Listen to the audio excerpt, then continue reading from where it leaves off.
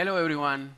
I hope, I hope you're happy today because you're going to have something like this soon with you.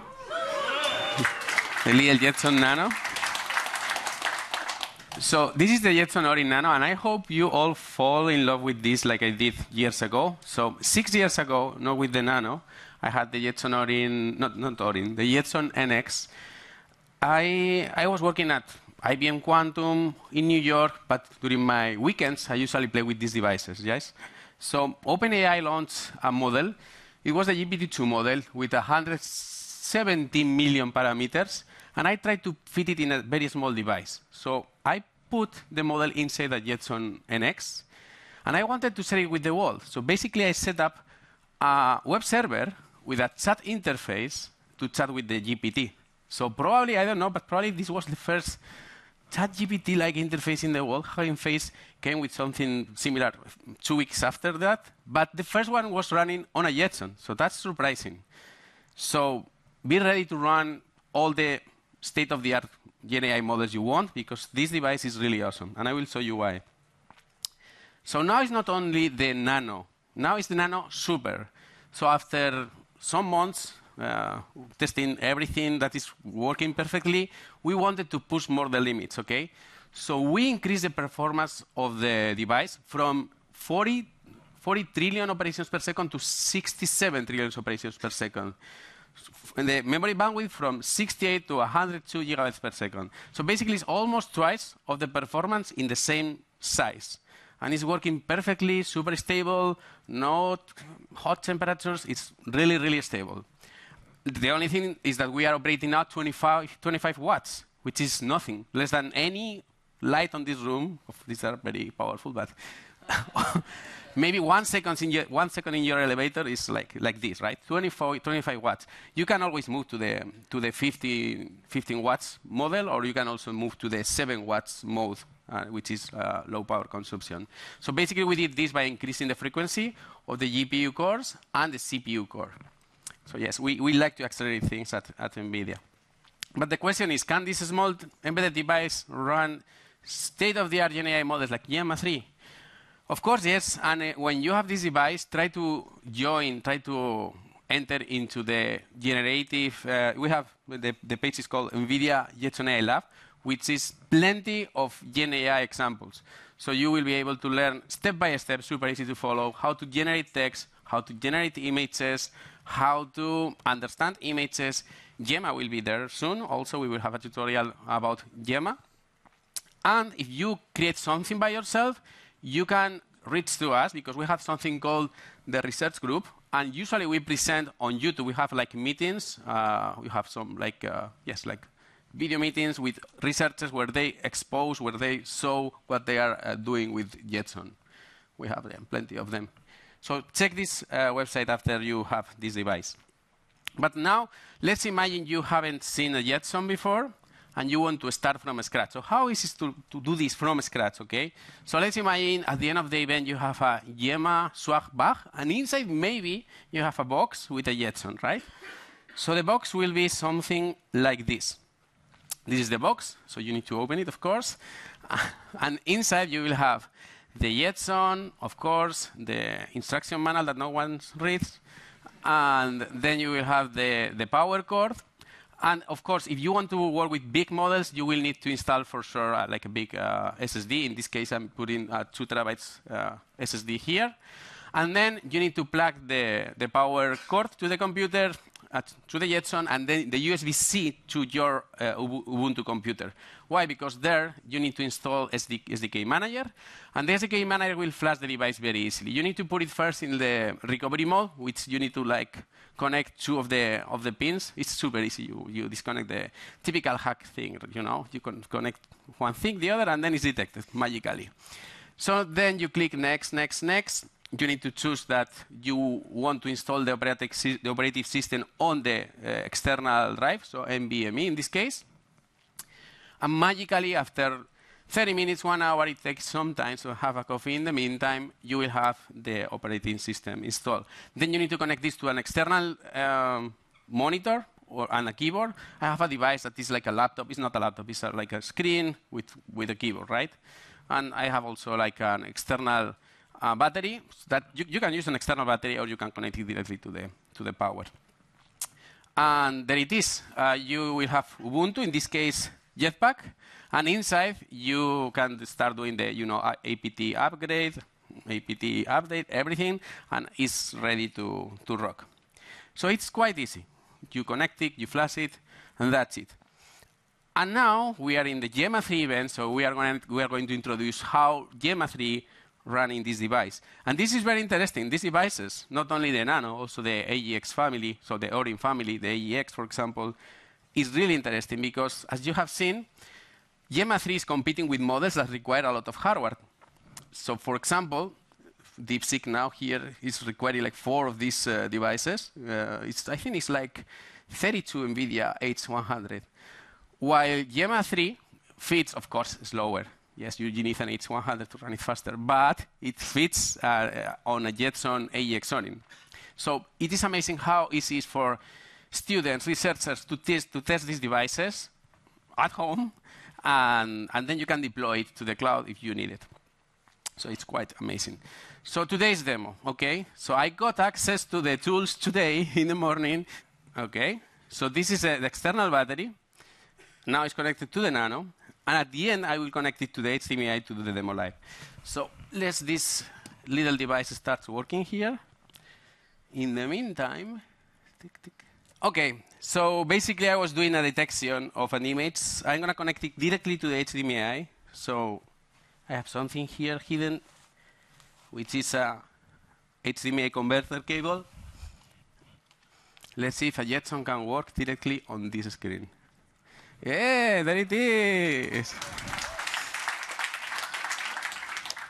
So yes, we are going to do a live demo. okay, so now we have the Jetson here connected. I'm going to run, uh, I need not a table, but I'm going to do it like this. So I'm going to open a terminal. I'm going to make it bigger so I can read it too. And right now, I'm going to launch um, I'm going to launch directly Ollama, which I installed this morning. Gemma 3, 4 billion parameters demo. OK. And let's see what happens. Sometimes I need to increase the swap, the swap memory, OK? Let's see this time. Because this device, it has only 8 gigabytes of memory, OK? Yes, don't worry about that. So I have a script for that. It's super easy to do it. So the 1 million parameters works directly like this. So I have this script, which is the swap.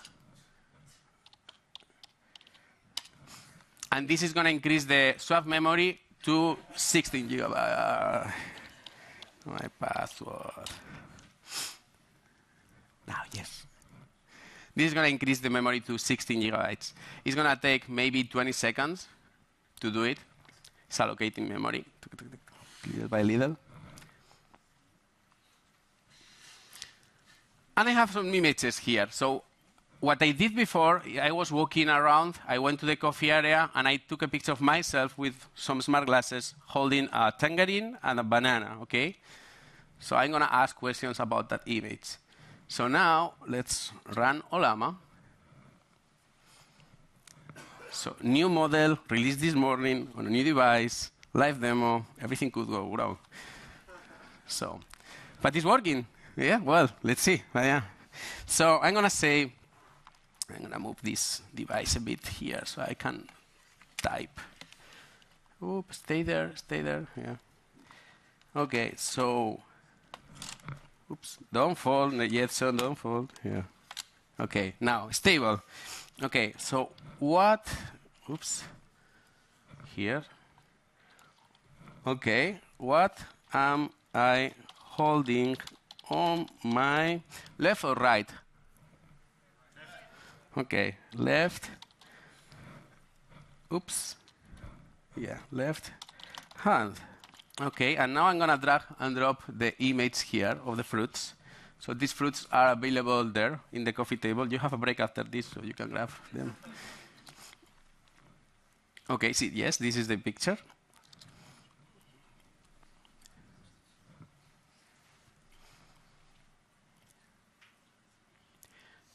This message is normal, okay? Don't worry about it. and you can, you, can, you can skip it. So, left hand. Well. Okay, maybe it was the right, but let's see. but let's see if I understand the context. Because it could be a, a selfie, right? So you can have the mirror effect.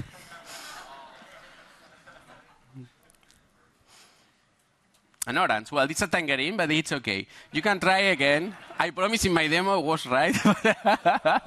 but this is better, so you can see the, the, the thing uh, live. So also I can say like, so I'm gonna, I'm gonna close this one again, and I'm gonna launch it. I'm gonna say, what time is my session, for example. So what time is my Jetson session?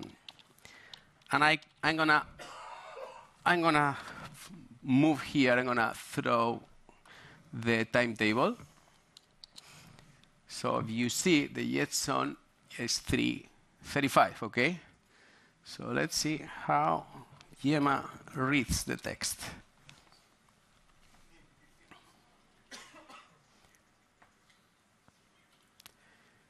Good, 335. So this is this is quite interesting for a model that is using a VLM uh, and not an OCR to, to recognize the text. So this is this quite amazing. And let's do something else like the typical CATS image, like describe. I'm going to close it anyway. I prefer to close. Oh, wait, wait, wait. No. I'm going to launch it again, and I'm going to throw directly an image of the cat and kitten, like typical random image from the internet. Describe it. Oops, yeah, maybe the Bluetooth, yeah. Describe. Let's see.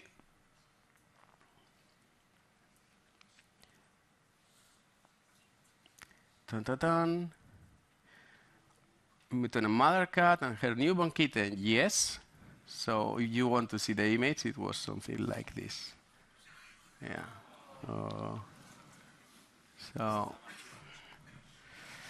so yes, Gemma 4 billion parameters is working very well. And also, if we want to see the, let, us see now the performance. So I'm going to run it with the verbose command. So we can see, oops, verbose. Uh, I'm going to throw directly the image of the, the entrance of the event without saying anything. And we will see the performance in tokens per second which is really fast, I think, for a 4 billion parameters. Yeah, Gemma Developer Day, the details, printed in white.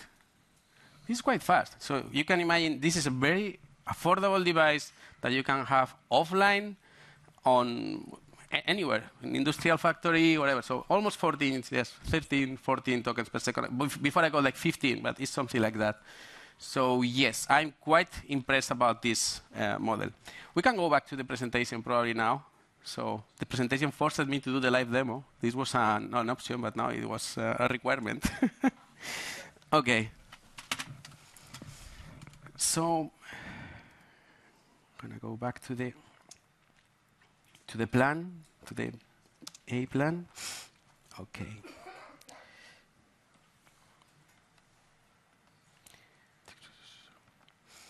Yeah.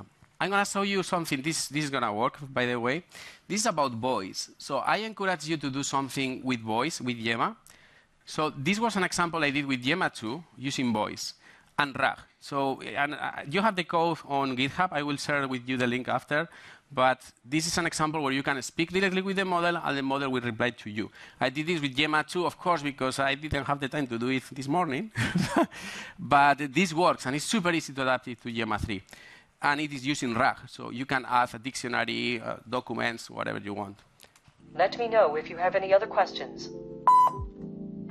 I want to go and eat some sushi in Tokyo. That sounds delicious.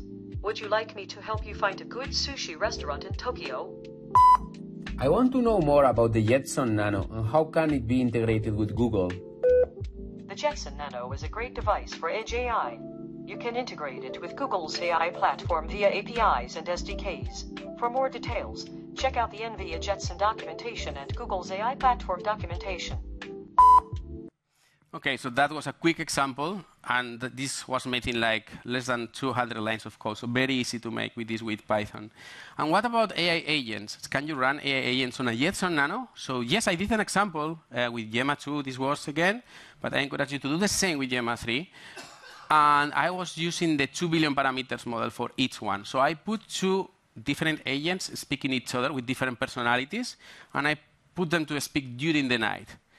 And it was quite interesting. I did this example with Llama CPP. So I created a Llama CPP server in one port, a different Llama CPP server in, in, server in a different port, and I connected each other with different personalities.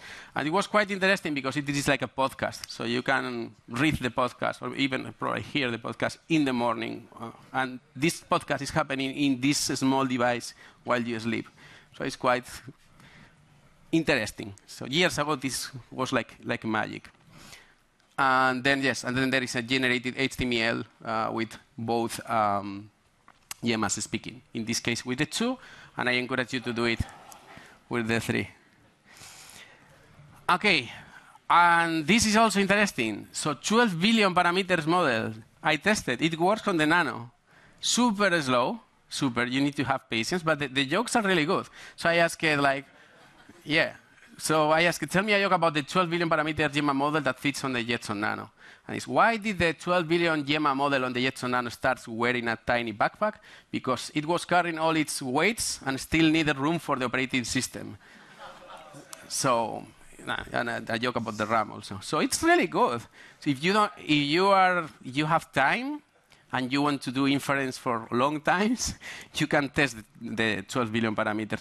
I encourage you to test the 27 billion parameters. I haven't had the time. Probably I could not have that time because probably it could take like a day.